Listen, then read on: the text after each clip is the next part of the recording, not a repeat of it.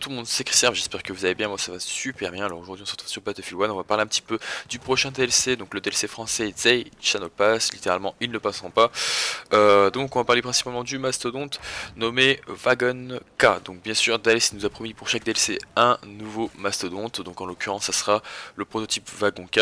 Donc il y a eu, faut savoir pour la première guerre mondiale, deux prototypes de ce char qui étaient quasiment opérationnels avant la fin de la guerre. Donc ils n'ont pas été mis sur le terrain d'opération.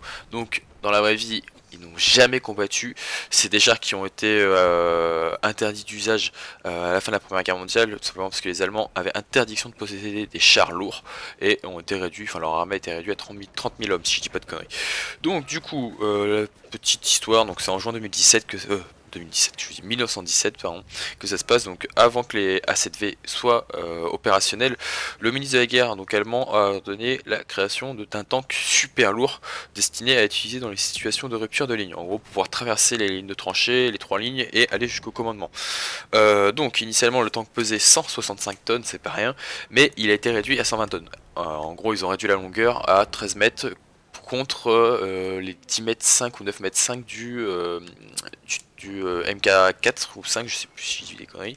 Euh, donc la masse de euh, l'a rendu en fait impossible enfin, a rendu l'acheminement, donc le, tout ce qui était transport du tank en, ensemble complet, impossible. Donc du coup, il a été décidé qu'il serait transporté jusqu'aux lignes de front en 6 morceaux, enfin en 6 pièces, dont donc, la, donc en 6 modules, pardon, euh, la salle de contrôle, la salle de combat, la salle des machines, la pièce transmission et deux sponsons plus le, euh, la pièce du commandement. Donc en fait les deux sponsons, qu'est-ce que c'est C'est ce qu'il y a sur les côtés euh, latéraux du véhicule, hein.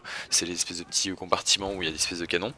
faut savoir qu'aussi ce véhicule, c'était pas le conducteur qui décidait où il allait, enfin il n'avait pas de vision sur, sur le terrain.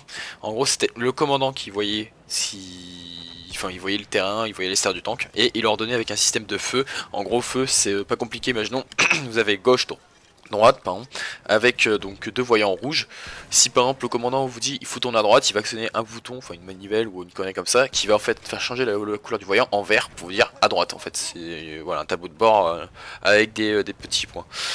En gros, bah, si vous préférez, voilà, le conducteur, euh, enfin les conducteurs vont diriger le véhicule aveuglément sous l'ordre du commandant. Après l'armement, ça c'est ce qui intéresse, je pense, tout le monde. Donc savoir que ce véhicule, il y avait à peu près un effectif de 27 personnes dedans, c'est pas rien. Bon, je vous rassure sur PF, il n'y aura pas 27 joueurs dedans, sinon on très rapidement de se faire chier.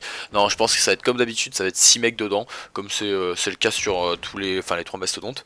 Donc l'armement, on, se retrouve avec 4 canons de 77 mm en latéraux, donc deux à gauche, deux à droite. On se retrouve avec 7 MG, 8, une avant et 6, donc 3 à gauche, 3 à droite et 0 à l'arrière. Donc autant dire que ce véhicule, il pourra aller de partout sur le terrain, sur votre fil, mais il ne pourra pas tirer à l'arrière, il pourra tirer que sur les côtés.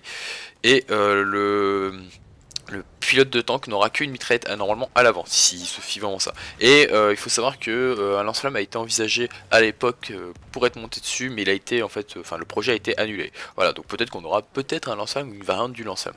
Voilà, donc j'espère que la vidéo vous a fait plaisir. C'est n'hésitez pas à mettre un petit j'aime, à vous abonner, à partager la vidéo pour qu'elle soit le plus rapidement vue. Et je vous dis à la prochaine. Allez, salut tout le monde.